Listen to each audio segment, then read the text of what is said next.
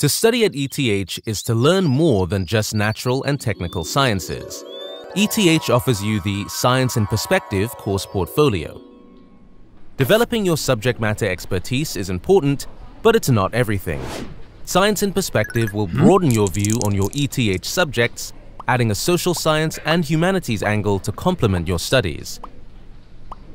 In the courses, you will deal with additional and overarching questions like Can machines learn? Why do we trust science?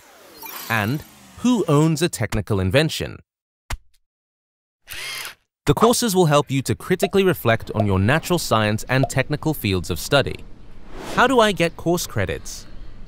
The Science in Perspective course is worth 6 ECTS credits as part of a bachelor's degree and 2 credits as part of a master's degree.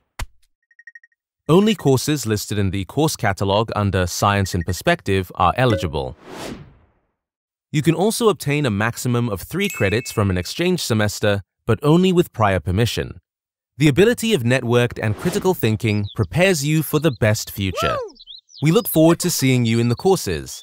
Find more details about Science in Perspective online.